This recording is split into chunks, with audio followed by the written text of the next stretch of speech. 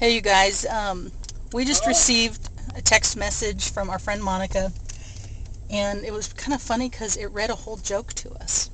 And I don't want to go on camera because I'm not in makeup mode today. So anyway, Alex, play Monica's message. So a bunny goes to a diner and sits down waiting to order breakfast. The waitress asked how, would you like your eggs? Chocolate was the reply. There you go.